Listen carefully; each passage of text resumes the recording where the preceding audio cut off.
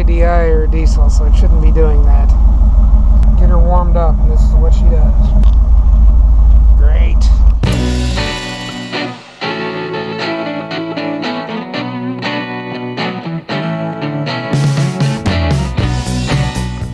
Finally back on the 76 again. Uh, I got all the wheels finally polished up. Finished this one tonight. Turned out really nice. I'll clean the tires up and clean the, the slots themselves out uh, when I get ready to put them on. I have new caps for them. So the last thing I want to do, so I can at least start driving this a little bit, is get the valve stem seals changed because she's kind of a bit of an oil burner, and I think that'll keep it uh, tolerable for a little while. So I went ahead and did the uh, uh, 2, 3, and 4. 4 is not done because I can't get my tool in there that last one, so I'm going to have to get a different compressor tool to do that last one. My uh, tool that I use, this one here, is it hits the firewall, so I got to. There's another one they make, it's an adjustable one, and see if I can locate it. So I figure I'll show you how I do it by using number one as an example. First thing I'll do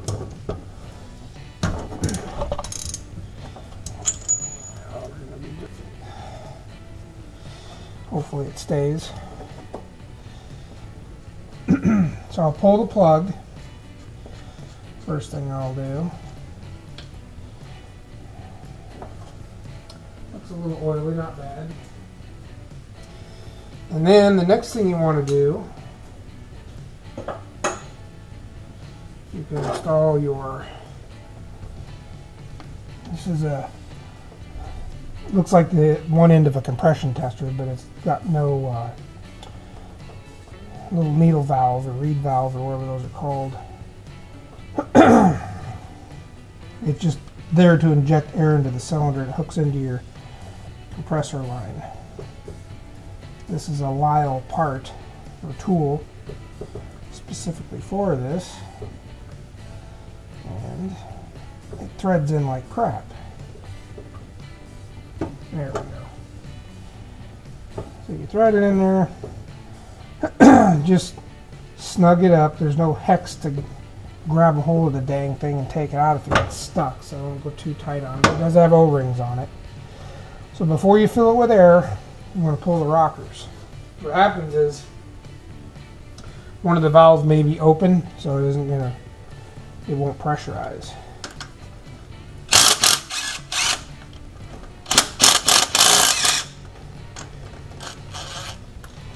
And I'll put the rockers in. Try to keep everything in the same order. Now with the valves shut, I will pressurize it. My air compressor doesn't turn on. It might in the video. Keep your hand away from the fan. a clutch fan. But, uh, if it's not, it'll definitely, if the cylinder's up, it'll push the cylinder down. So keep your hands clear. Now what I like to do, these keepers are seated real well under the valve. So with it pressurized, I'll take a socket that's bigger than the valve stem and keeper and I'll bang on it. You can feel it change sound. It'll sound like it's trying to open the valve, but all of a sudden you'll just feel the spring. You'll feel it actually soften up and then it'll change sound. See? What that did is it loosened it up on the keeper so that when you go to use the bar to loosen or to uh, push down the keeper, I'm sorry, the retainer to get the keepers out, they won't be stuck because they get stuck over time. You want to be careful when you're doing that because you're hitting this damn thing too hard. You can dislodge the keepers and everything come apart on you without even having anything set up on it. And the valve could drop. So you just want to give it some good whacks, just enough to break this free of the keepers.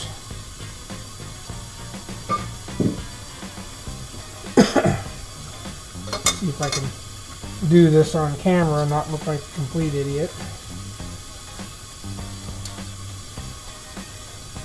Sometimes these don't go as easily as they always do. See how that just came down nicely? Now had I not smacked that with the socket and extension, there's a good chance it would have pulled the valve and everything open. So it's something I started doing a long time ago. I learned that if you give it a little taps, she'll come right out. No problems there. All I'm using, I just use a little washer, which you don't really have to use a washer, but sometimes it helps. And I'll just use the nut that was up here. Remove your spring. Sometimes the shim, if there's a shim, it'll stick to the spring, so watch that. And not always. So far, I've been only, I've only found one broken seal, but all these are rock hard. I can understand why they're leaking a little bit. I think the exhaust valve here, that one was broken half. And the plug was very oily, so you can obviously, looking at the plug, you can tell you that that valve stem seal was trash. Let's get my replacement. Push her down on there. Should fit nice and snug. Put the valve spring back on.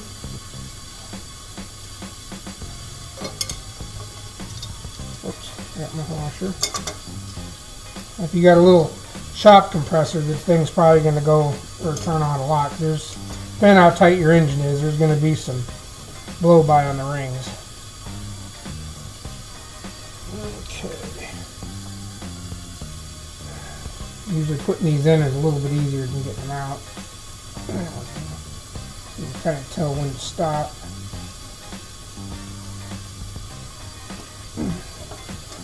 That's it.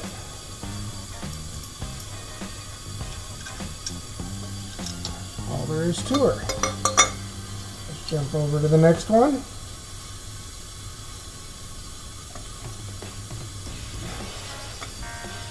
exhaust valves have been a little more difficult. I don't know why. All of them, the keepers are really sticky.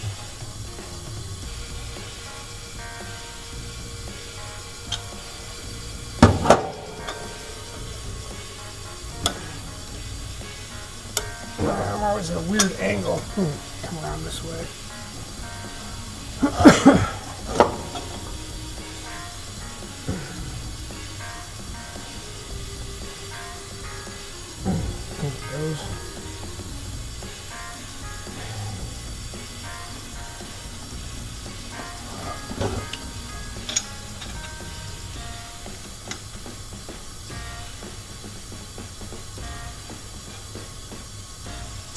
Fortunately, these were uh, these are non-adjustable. I thought at first when I saw the screw-in studs and I pulled the valve covers off, oh, nice. But they were either adjustable or non-adjustable. These are the non-adjustable variety. DOVEC heads, which they came both ways. You see how the shim stuck to the spring? Gotta be careful of that when you put it back in. Oh, see that thing? It's not even really doing anything. Not broke, but she's hard as a rock.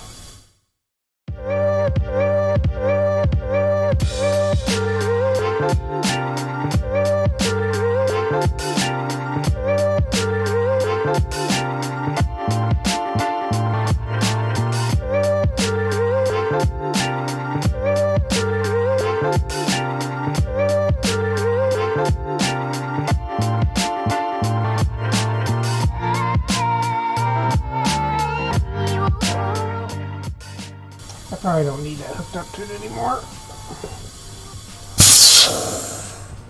There we go. I'm done with that part.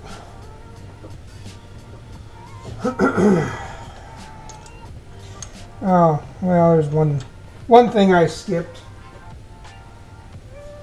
That with the air, I'd seat the valve. Or kind of make sure the keepers are biting. I do that with the air still on it.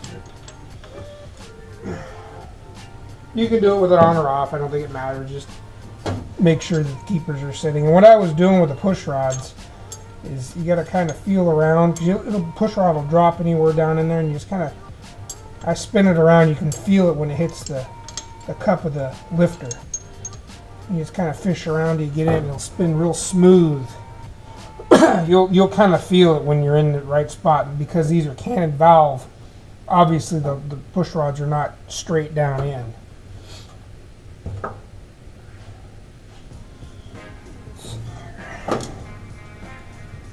These being a non-adjustable torque down style, you just run them down to the bottom on this particular engine, which is a uh, 7071. I think the block's a 71. Heads are 70. But on this particular application, it's 18 to 22 foot-pounds. Just run them down to the bottom.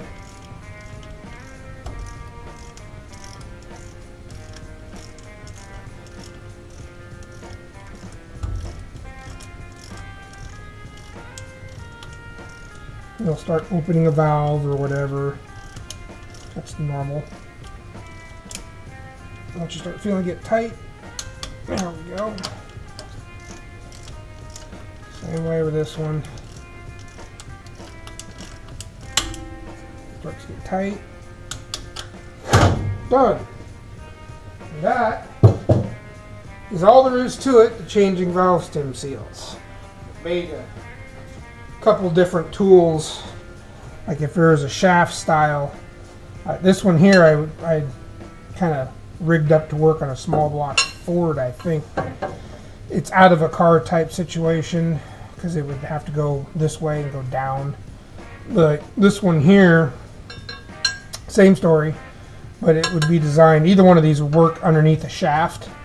And you just mount the shaft back in there and you know push down once you get the rockers. I have a dummy shaft that I use in the case if I'm doing something like that. I'll have a shaft that have no rockers, just the uh, stands and stuff on it, and I'll just use this to get underneath it. But uh, what do I do with it? This is your off-the-shelf KD tool. Uh, it's uh, KD number 912. Uh, I think they still sell this. They also make the one I got to get for that one down there is going to be on a handle, and you can adjust its positioning. It'll be a little shorter, probably about this long. And I think the handle you can change its angle that's what I have in mind. I'm going to have to find for that. I don't have one of those. I never really had a need for one. But uh, my dad's had this one laying around.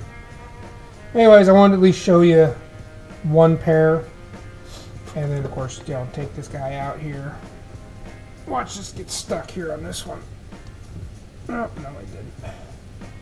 But yeah, these, I've had these get stuck before. And see, there's no hex down here. So if that sucker gets stuck in there, you're you're pretty much screwed and it'll start wadding up on the hose. Or if you get lucky, you can get some pliers down there and grab it by the compression part portion here. But there's other brands that have a hex here in case they do happen to get stuck in the spark plug hole because that has happened before. I've had it happen before. Not pretty. And here, this is the only one that's missing. But you can see the plug. You see how dark, oily it is. I'm willing to bet you if I take that one out, when I get it out of there, it's going to be broken like this one. See, that thing was broke right in half. And you can see all the oil. This one's oil fouled too. These two didn't look too bad. A little little rat nasty. This one wasn't really bad at all. But they were still intact.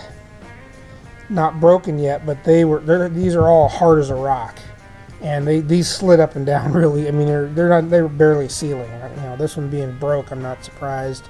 I'm willing to bet you this one's probably broke. And this was this is just the passenger side. You know, one, two, three, and four. I haven't even got to the driver's bank, which is actually the worst one. That one's the one that smokes the worst. So I'm wondering if we'll find some even worse plugs and some uh, really destroyed stem seals in that one. That'd be interesting. So when I get that one apart, we'll uh, we'll see what it's like over there. But usually, if your rig smokes a little bit. It, it, it can be the rings, but at least in my experience with these Fords, a lot of times it's just the valve stem seals. I mean, unless the thing is like really barrel rolling smoke out of it, if it's a puff on the startup or you're just idling and it's a little bit, generally it's just these stupid valve stem seals. I mean, if it's really rolling some smoke, it's probably got some other issues, but. Oh no, what the f was that? The motor. He's throwing a rod. You know, these aren't like the O-rings and small block Chevys. These will go ways. I, I wouldn't doubt if these are original seals.